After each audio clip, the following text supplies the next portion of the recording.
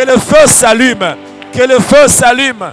Que tout plan du, monde du ténèbre soit enflammé.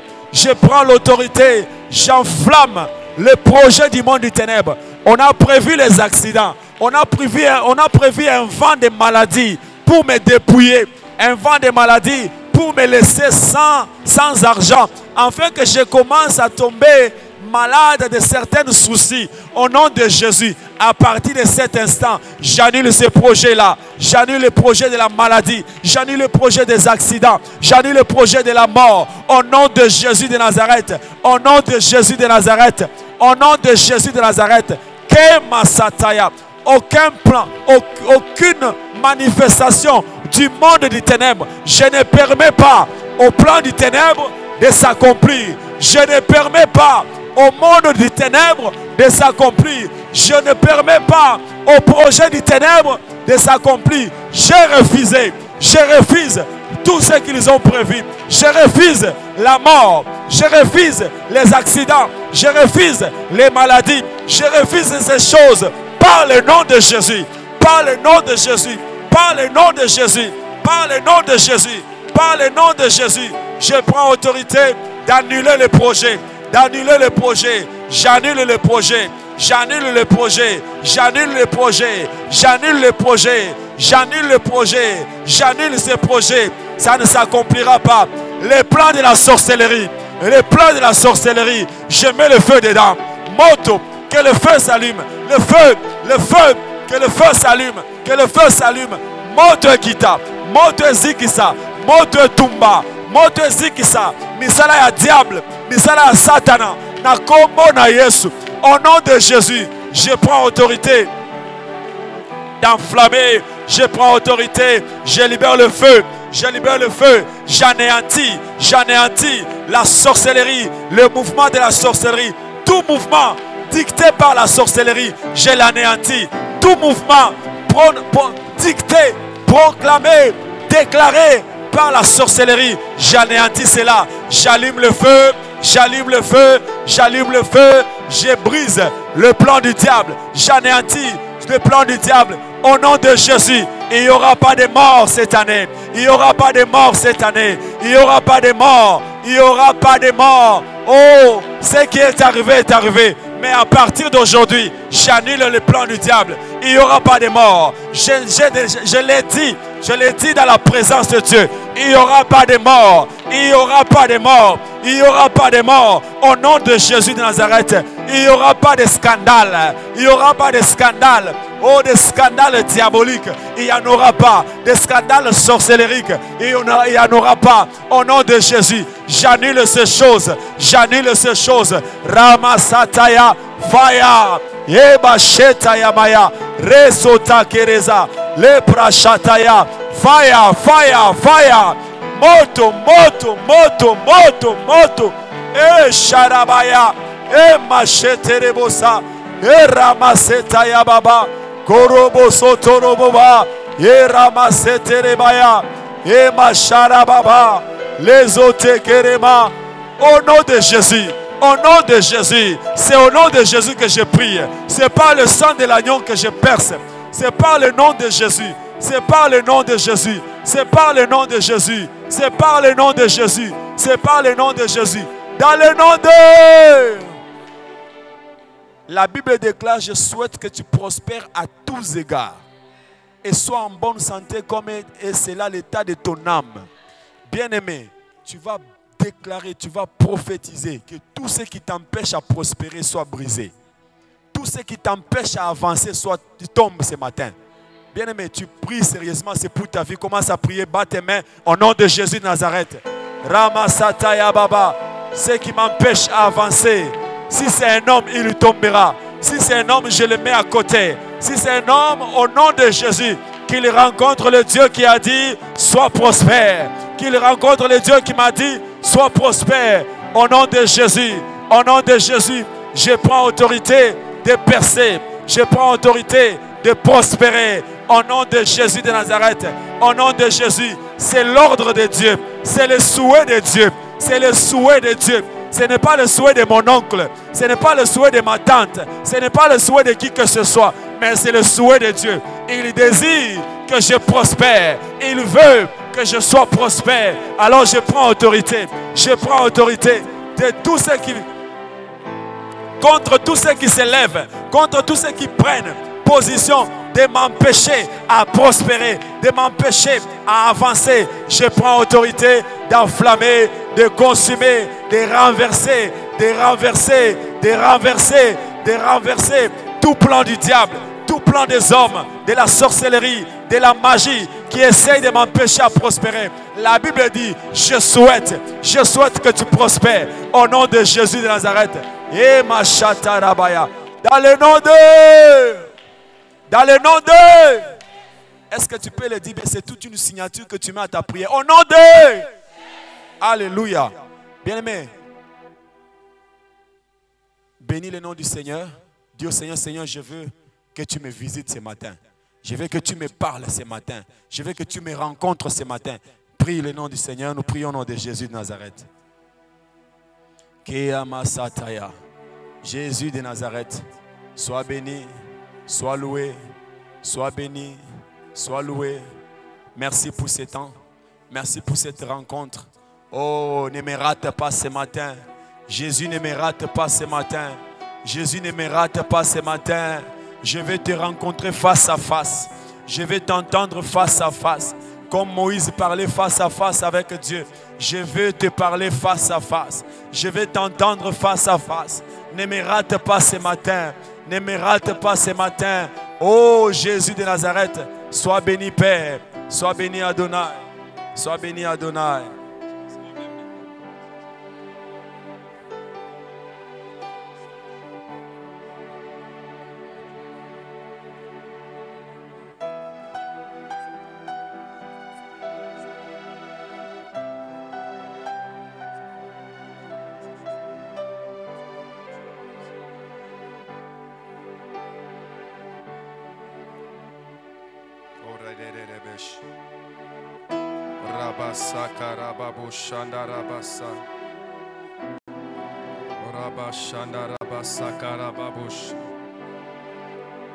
Éternel Dieu de gloire, nous te rendons grâce, nous te disons merci pour ton onction, pour ta présence qui déborde ce matin. Je te prie que Seigneur, cette matinée soit une matinée de, de transformation, une matinée de maternité où nous allons expérimenter la gloire de Dieu. Sois sur nous, Seigneur, déborde ta grâce sur nous, sur ton peuple, au nom puissant de Jésus-Christ. Amen. Acclame royalement le Seigneur.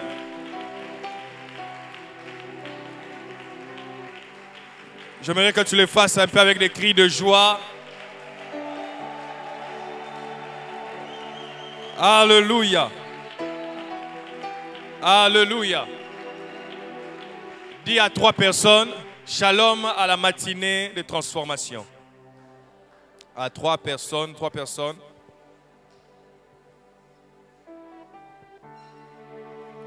Amen. Amen. Que Dieu te bénisse. Je suis rapidement sur euh, Romains, Romains 12. Romains 12.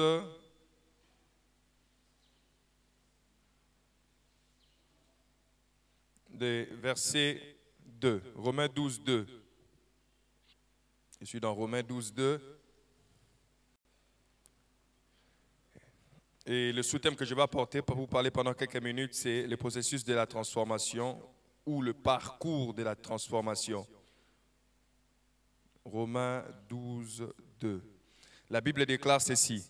Ne vous conformez pas au siècle présent, mais soyez transformés par le renouvellement de l'intelligence, afin que vous discerniez quelle est la volonté de Dieu, ce qui est bon, agréable et parfait. Acclame la parole de Dieu. Tu peux te rasseoir. Je, vais lire, euh, donner un autre passage que tu liras assis.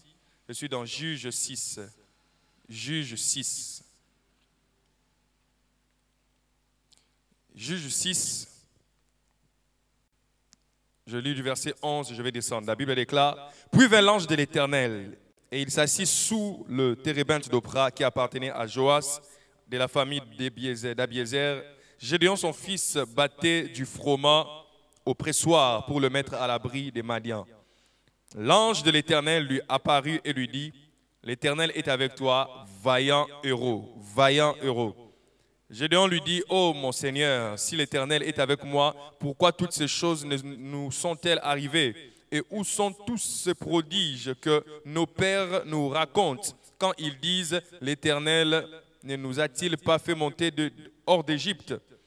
Maintenant l'Éternel nous a abandonnés et il nous a livrés entre les mains de Madian. 14. L'Éternel se tourna vers lui et lui dit, va avec la force que tu as et délivre Israël de la main des Madians. N'est-ce pas moi qui t'envoie? Gédéon lui dit, ah mon Seigneur, avec quoi délivrerai-je Israël? Voici ma famille est la plus pauvre en Manassé et je suis le plus petit dans la maison de mon père. L'Éternel lui dit, mais je serai avec toi et tu battras Madian comme un seul homme. Gédéon lui dit, si j'ai trouvé grâce à tes yeux, je me qu'on saute, on peut aller au verset 18. Ne t'éloigne point d'ici jusqu'à ce que je vienne auprès de toi, que j'apporte mon offrande et que je la dépose devant toi. Et l'Éternel dit, je resterai jusqu'à ce que tu reviennes. Gédéon entra, prépara un chevreau et fit avec un épha de farine, des pains, sans levain. Il mit la chair dans un panier et le jus dans un pot, les lui apporta sous le térébinthe et les présenta. L'ange de Dieu lui dit, prends la chair et le pain sans levain, pose-le sur le rocher et répand le jus, et il fit ainsi. L'ange de l'Éternel avança à l'extrémité. J'aimerais qu'on saute encore ici. On peut aller directement au verset, au verset 22. Gédéon, voyant que c'était l'ange de l'Éternel, il crie Malheur à moi, Seigneur éternel, car j'ai vu l'ange de l'Éternel face à face. Et l'Éternel lui dit Sois en paix, ne crains point, et tu ne mourras point. Gédéon bâtit là un hôtel à l'Éternel, et il, donna, lui donna pour nom l'Éternel paix. Il existe encore aujourd'hui à Oprah qui appartient à la famille d'Abiézer. 25.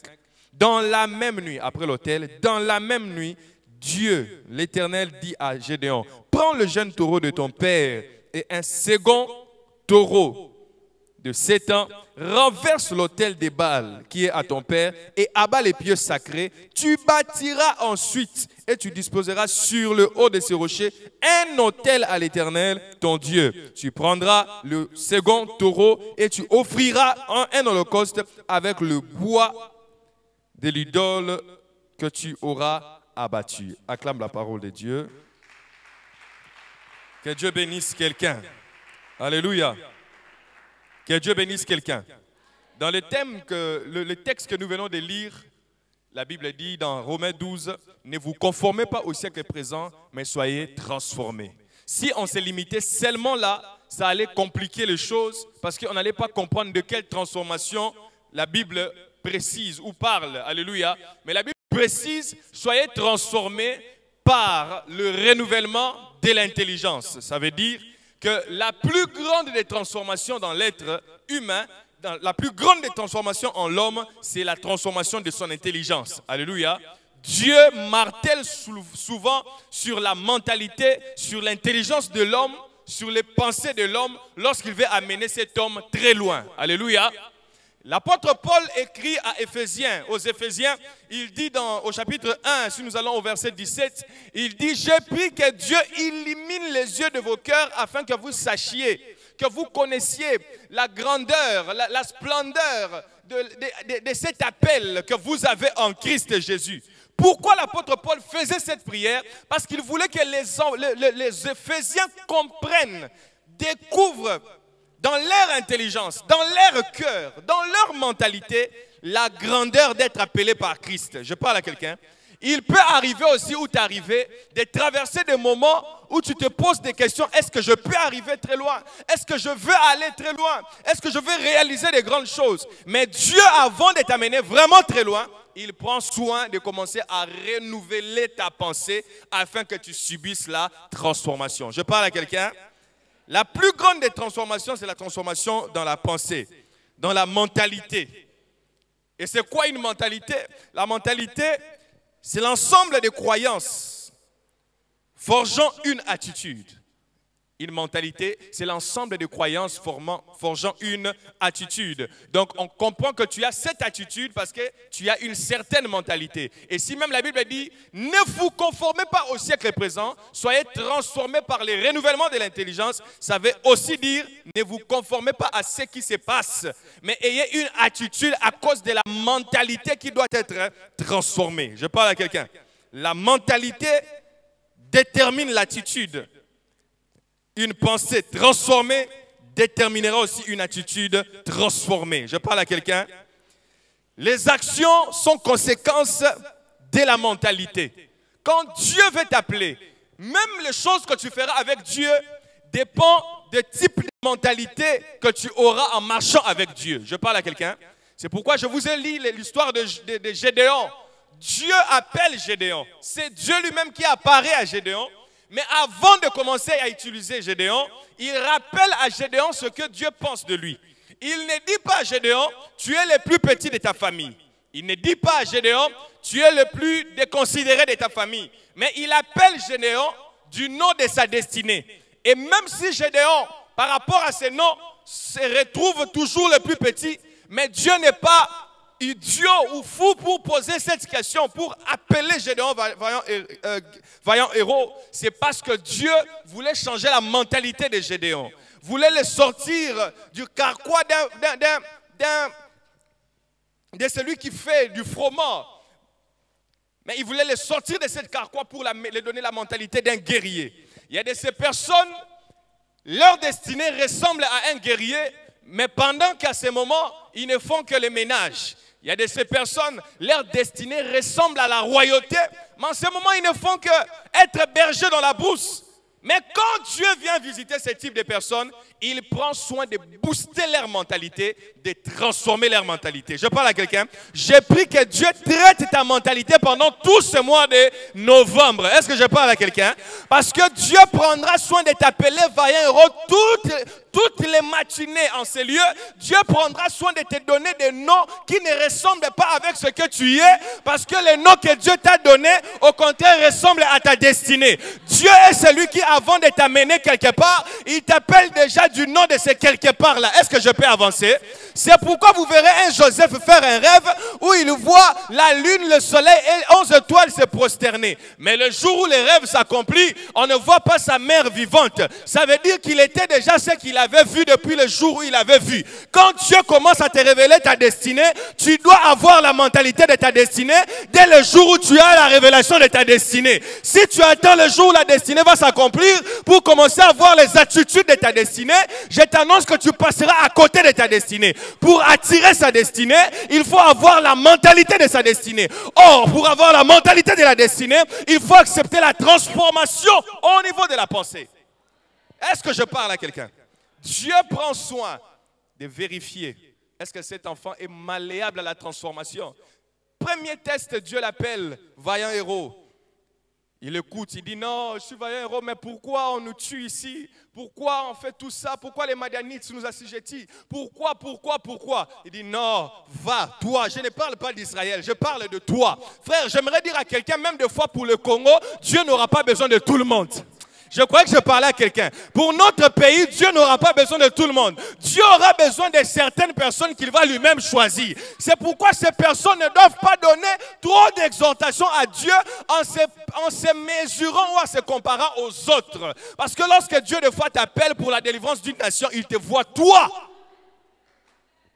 Il rappelle à Gédéon, non, ne dis pas ça.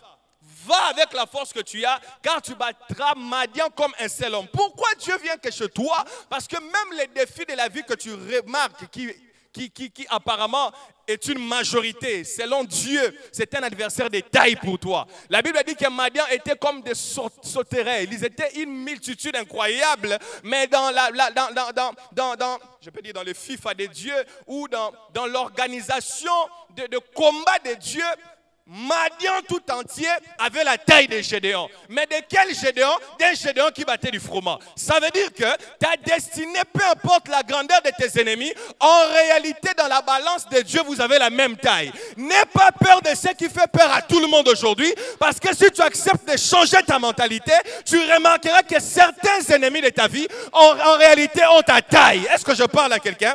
C'est pourquoi vous verrez même quand Goliath fera 40 jours sortir devant Israël pour demander un concurrent, un concurrent, mais vous remarquerez, personne n'avait la taille de Goliath, mais la destinée de David ressemblait à une taille plus grande à celle de Goliath. Voilà pourquoi quand David a vu Goliath, il n'a pas vu la taille de Goliath, il a vu l'opportunité de sa destinée. Celui qui a une mentalité transformée remarque au-delà des défis, à travers les défis, l'opportunité de leur destinée. En fait, toute équation n'est pas pour te tuer, certaines équations sont pour que tu amènes et que tu apportes la réponse. Est-ce que je parle à quelqu'un? Si ces choses ne marchent pas dans ta vie, essaie de vérifier ta pensée à toi. Essaie de vérifier ta mentalité à toi. Est-ce que je parle à quelqu'un? Dans les parcours de la destinée, tu dois vérifier ces choses avant que Dieu t'amène un peu plus loin. Est-ce que je parle à quelqu'un? Tu ne peux pas faire des choses que tu as toujours fait et t'attendre à d'autres résultats. Des choses à savoir. Je parle à quelqu'un? Tu ne peux pas faire ce que tu as toujours fait et t'attendre à d'autres résultats. Gédéon, même quand tu bats du froment en cachette pour épargner par peur, par crainte des Madianites, rassure-toi que même si tu avais vu l'ange, même si tu avais vu le buisson dans répétition de la visitation de Moïse dans ta vie et que tu continues avec le froment, malgré l'appellation des vaillants héros, malgré que Dieu t'avait dit tu battras Madian comme ce que tu es en train de faire là. Je parle à quelqu'un. Si tu continues à faire, ne t'attends pas à un autre résultat. Tu as une mentalité transformée, fais des choses nouvelles pour des nouveaux résultats. Ne continue pas à faire ce que tu faisais après avoir entendu des choses qui boostent ta destinée ou qui boostent normalement ton parcours vers la destinée, vers la transformation. Je parle à quelqu'un. Sors de la cachette avec le froment. Sors de cette cachette, de cette petitesse que tu as dans ton esprit. Parce que Dieu t'a parlé. Le jour où tu te décides de faire autre chose, des nouvelles choses, c'est alors que tu verras de nouveaux résultats. Mais tu ne peux pas voir de nouveaux résultats si tu fais que les mêmes choses. Et les mêmes choses là, vous êtes tellement nombreux que je ne sais pas comment les préciser. Tu connais ce que tu fais d'habitude. Alléluia. Alléluia. Tu te réveilles, tu dors à 0 heure, tu te réveilles à 9 heures. Chaque jour, tu dors à 0 heure, tu te réveilles à 9 heures. Et pendant que tu ne dors pas, tu es en train de, au téléphone. Et quand tu finis d'être au téléphone, c'est après que tu, tu es d'ailleurs au téléphone pour demander l'argent aux gens. Non, j'ai pas telle chose aujourd'hui. Est-ce que le lo est-ce que? Il y a des gens qui t'aident toujours.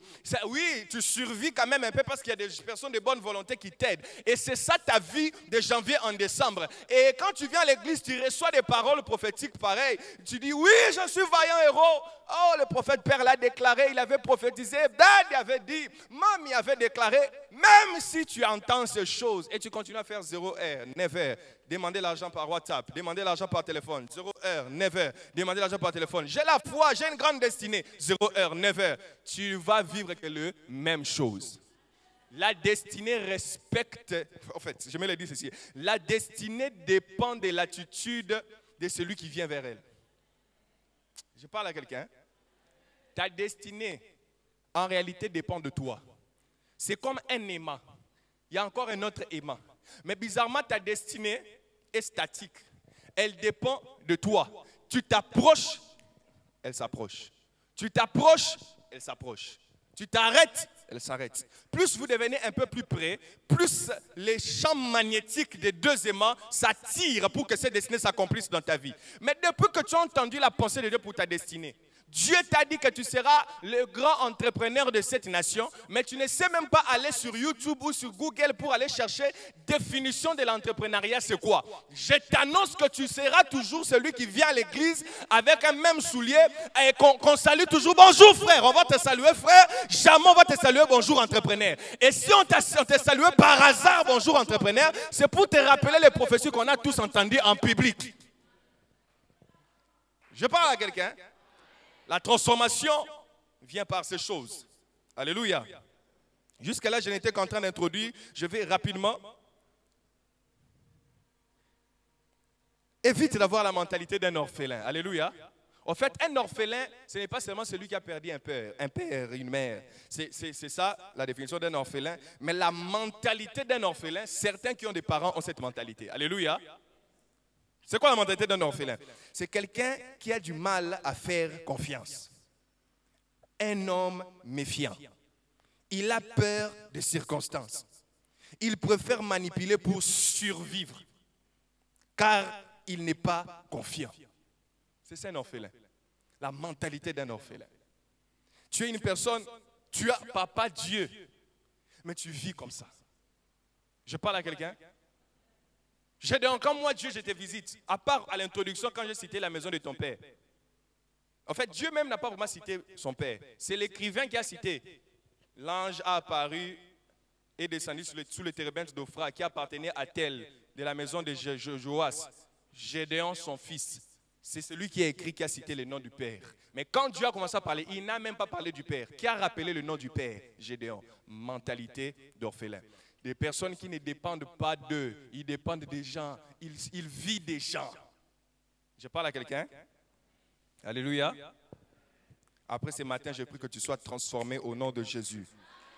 Donc après ce matin, quand tu remarques les 100 dollars qui viennent toujours de ce côté-là, pourquoi ça Frère, tu ne peux pas vivre qu'avec 100 dollars? Pourquoi seulement les 300 dollars là, Je dois changer ma manière de faire les choses. Tu remarqueras aussi comment les choses qui viennent dans ta vie vont commencer à changer.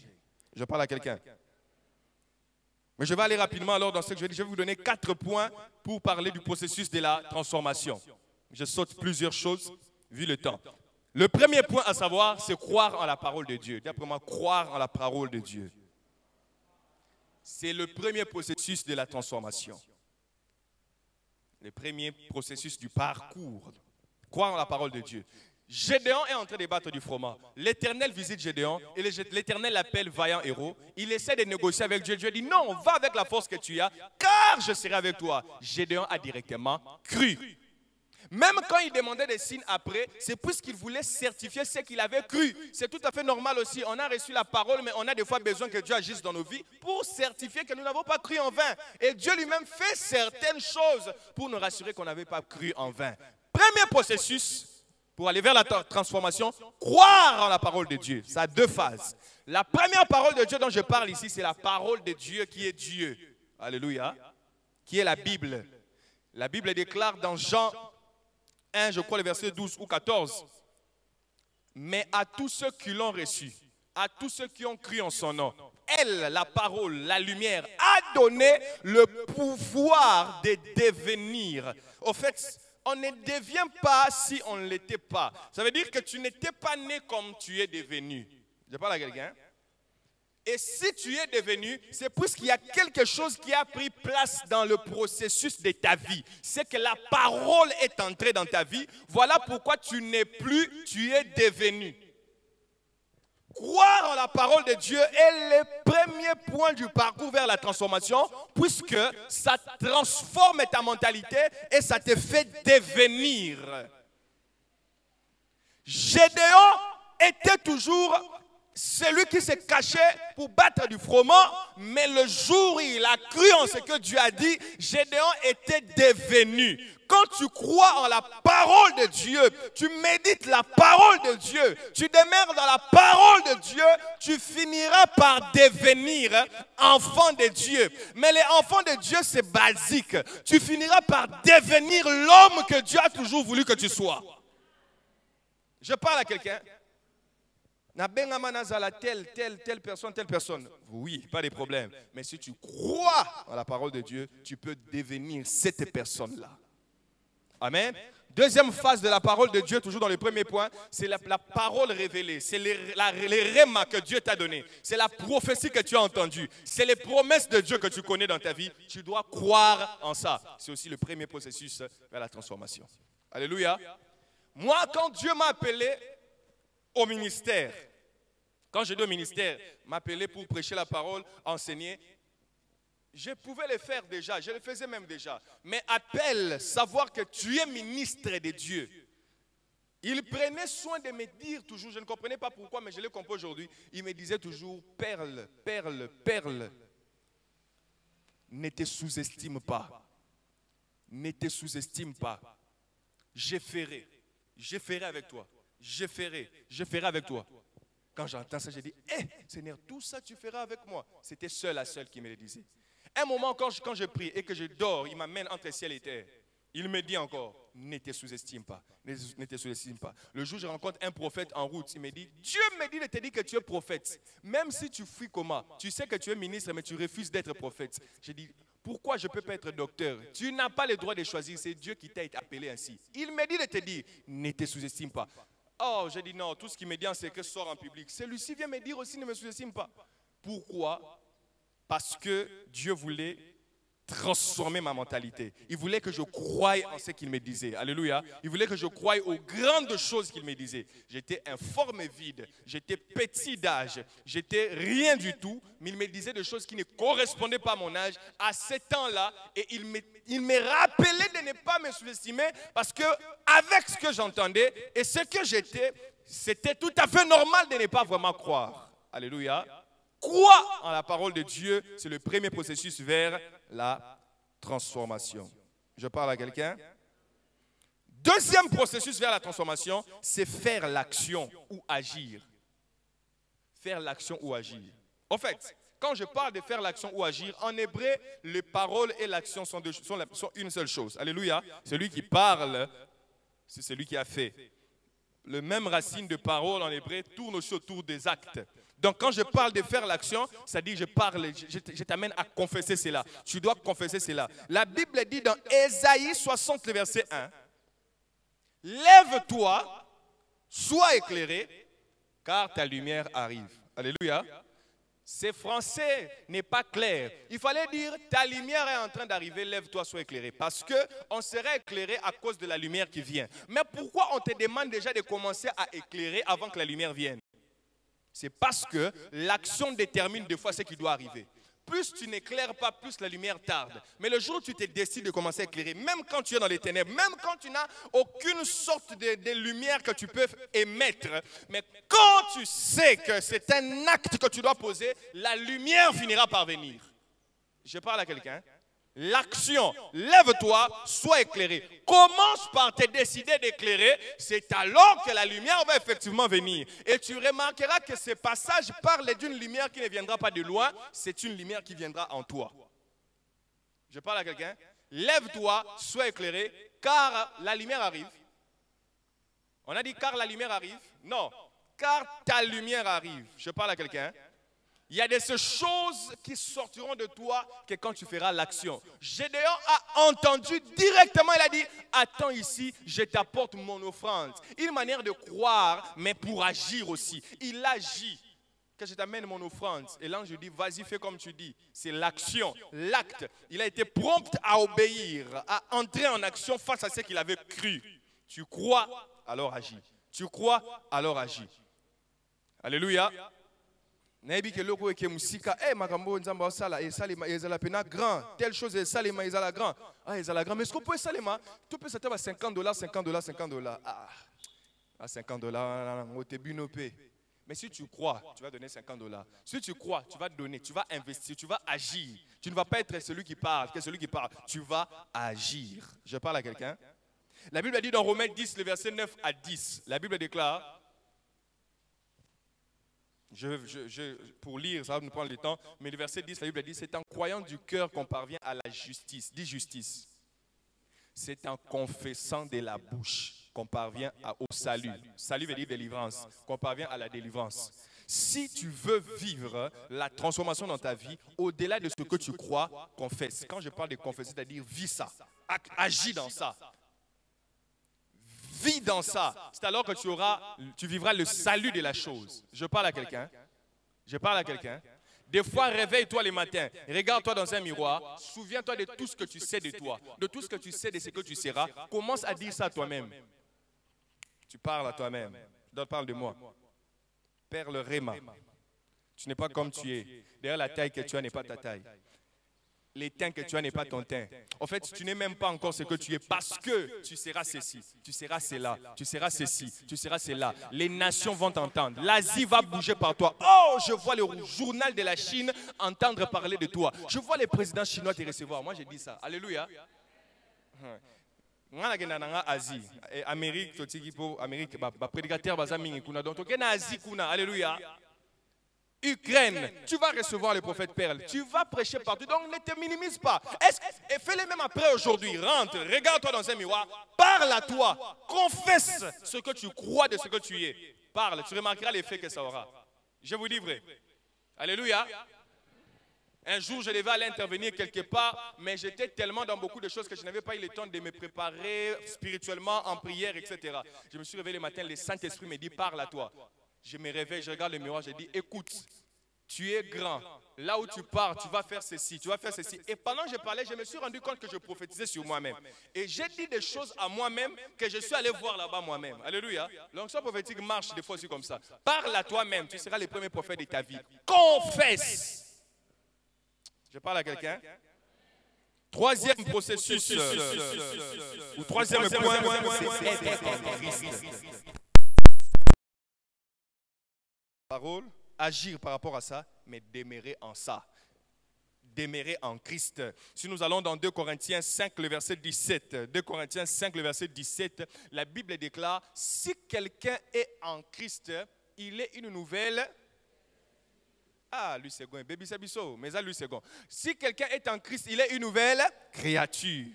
Les choses anciennes sont passées, c'est ça? Et les choses... Voilà. Mais si nous allons dans la version originale, ou originelle, vous remarquerez qu'il y a deux mots ou deux phrases, deux contextes qui n'est pas vraiment le contexte que lui second nous dit. La Bible dit si quelqu'un est en Christ, on explique le mécanisme de la transformation qui se passe dans l'homme. On dit, il est une nouvelle, pas créature.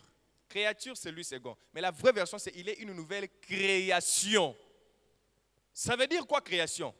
Quand tu lis Genèse chapitre 1, tout le chapitre, Dieu a créé le, la- les, cieux et la terre. Il a créé, il a créé, il a créé jusqu'au sixième jour. Et le septième jour, il s'est reposé. Alléluia. Ce qu'il a fait les premiers jours, c'était la créature, c'était des créatures. Ce qu'il a fait le deuxième jour, c'était aussi des créatures. Jusqu'à faire des animaux, c'était aussi des créatures, créatures. Vous comprenez? Mais l'ensemble de ces six jours, c'est ce qui s'appelle création. Amen. Si quelqu'un est en Christ, il devient un champ dans lequel Dieu va créer des choses. Quelqu'un a compris? C'est vraiment ça la pensée. Parce que si tu es une nouvelle création, tu es comme si un produit fini d'une chose qui n'aura plus besoin de rien. Mais quand tu es une nouvelle création, tu deviens un champ dans lequel Dieu va créer des choses les premiers jours, dans lequel Dieu va créer des choses le deuxième jour. Donc tu deviens tout un processus de création pour de nouvelles choses. Pour de nouvelles choses. Donc quand tu es en Christ, quand tu demeures dans les choses pour lesquelles tu as cru, automatiquement, la transformation se passe ainsi. Tu deviens un champ. Le premier jour doit exister dans ta vie. Le deuxième jour doit exister dans ta vie. Le quatrième jour. Quand je dis jour, en hébreu veut dire yom. Yom ne veut pas dire 24 heures. Yom veut dire période. Il y a une période où tu vas d'abord traverser certaines choses. Subir ces choses. Ce n'est que le premier jour. Ce n'est qu'une première période. Il y aura encore une telle période. Ça peut aussi être pour certains 15 périodes de leur vie. D'autres deux périodes. Mais dans une certaine, dans une série de périodes de leur vie, ils remarqueront comment Dieu va commencer à faire des choses afin de les amener quelque part pour la transformation totale.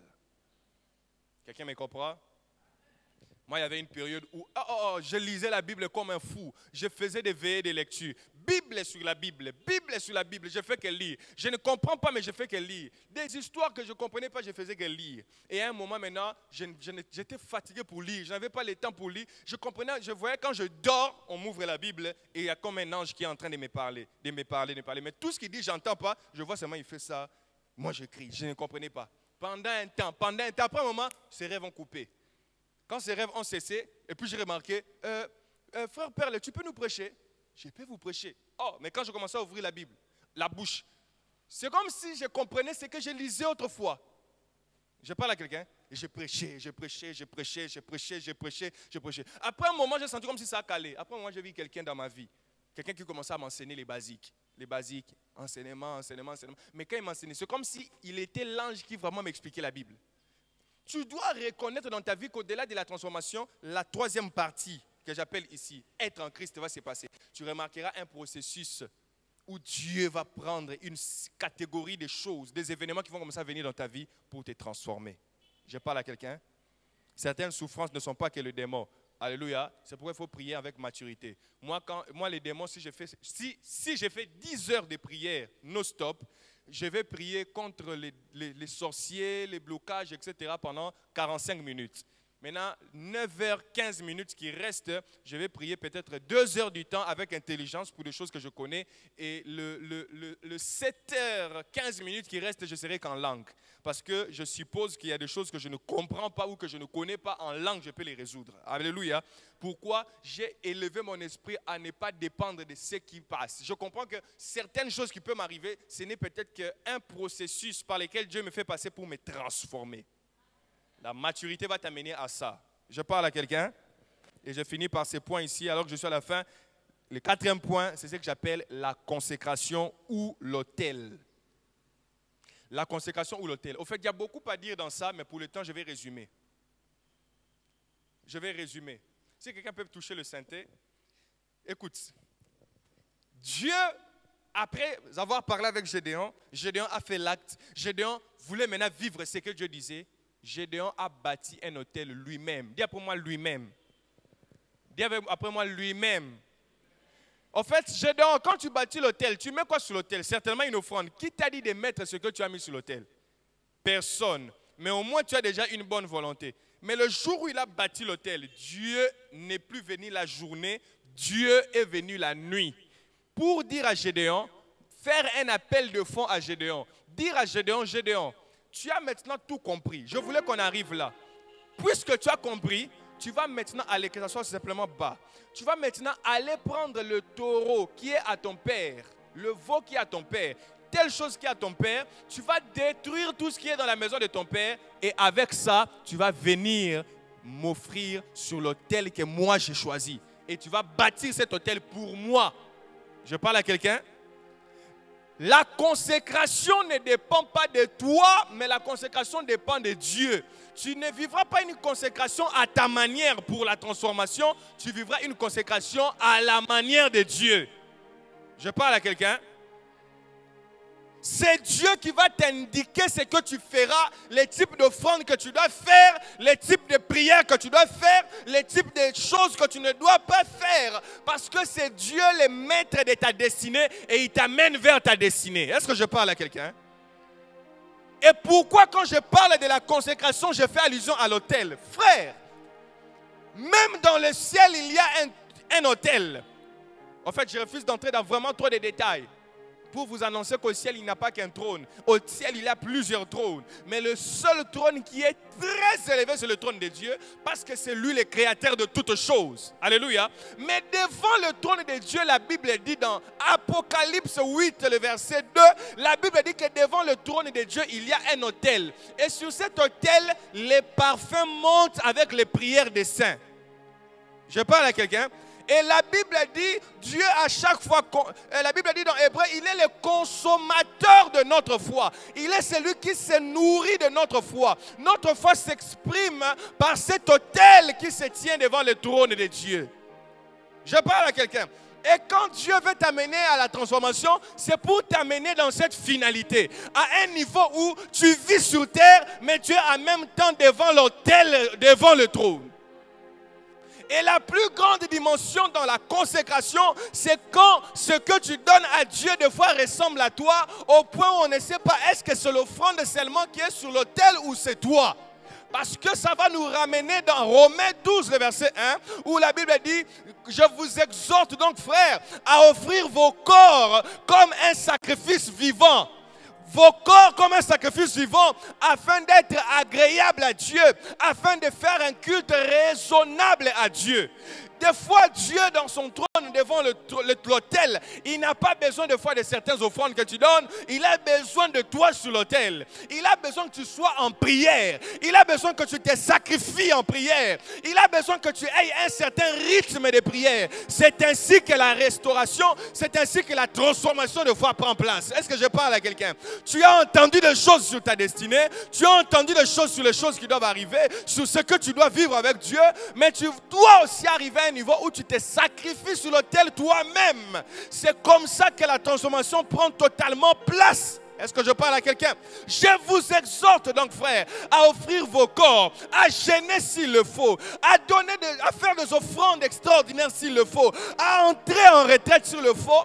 Tout ça afin de ressembler à votre vraie destinée, afin de vraiment subir la transformation. Je parle à quelqu'un. Jésus était le meilleur exemple. Jésus est monté sur la croix de Golgotha pécheur, mais Jésus n'est pas resté là-bas pécheur. La Bible dit qu'après la croix, Dieu l'a élevé. Jésus n'était plus ce qu'il était sur la croix. Lorsque tu montes sur l'autel, au fait, tu ne ressembleras plus à comment tu étais monté. Tu auras directement la taille de ta destinée. L'autel est le couloir qui te fait entrer dans ta destinée. L'autel est la porte qui t'amène vers la transformation parfaite.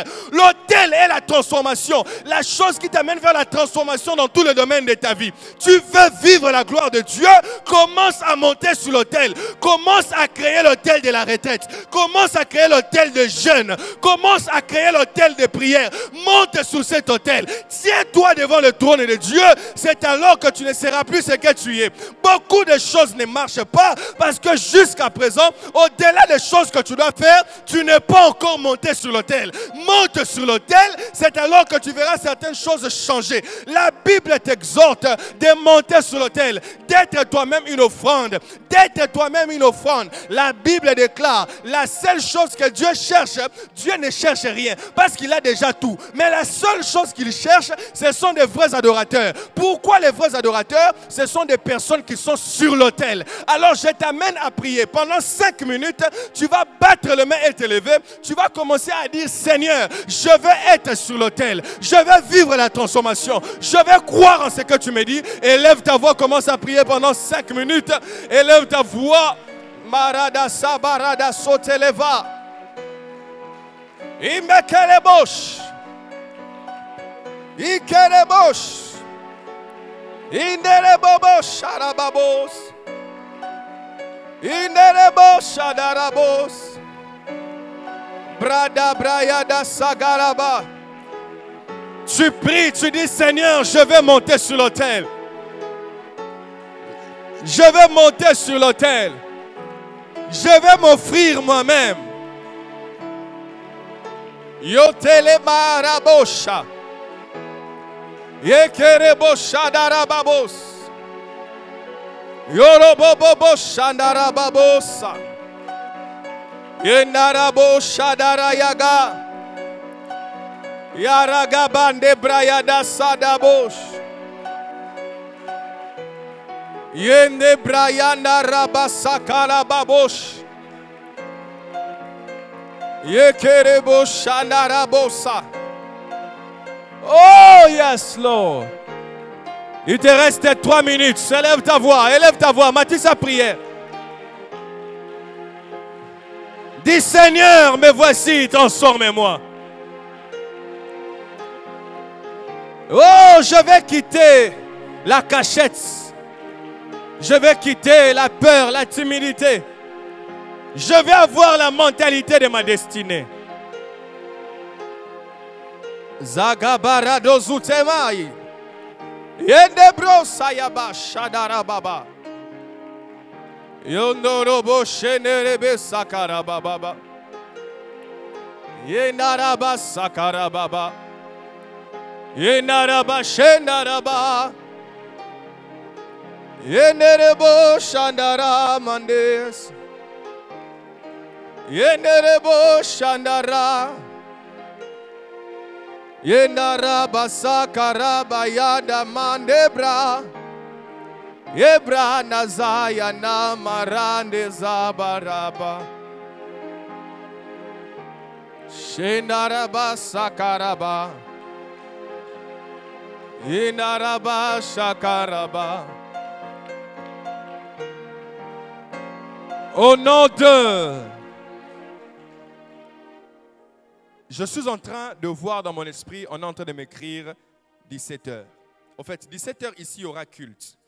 Mais avant 17 heures, Dieu veut faire quelque chose dans la vie de plusieurs personnes ici. Je sais ce que je viens de voir et d'entendre.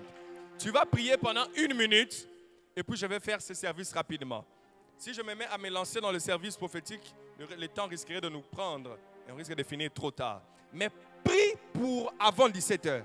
Je sais pourquoi je le dis. Ce n'est pas tout le monde, mais une catégorie de personnes qui vont expérimenter la main de Dieu avant 17 heures aujourd'hui. Tu bats le main, tu dis Seigneur, donne-moi ce que je dois avoir avant 17 heures.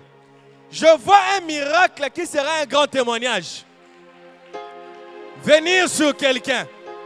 Même si tu es en ligne, tu peux prier pour nous, avec nous dans ce sens. Puis pour aujourd'hui, avant le culte, que tu aies un témoignage. Yendarabasa. nazomona nzambe kosala makambo minene nazomona nzambe kosala makambo minene yekele bobobosha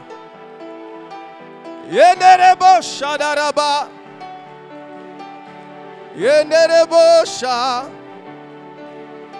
Yenderebosha ndara yendara yendoroboshane yekerebosh je veux vivre mon miracle, Seigneur, aujourd'hui. Je veux récupérer ce qu'il y a à moi aujourd'hui.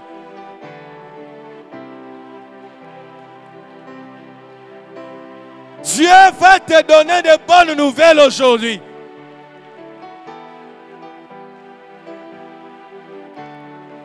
Yada barada sadaraba shaderebesa. Yegerebo shadarabababasa. Robo shenderebosa. Irebo sharabos.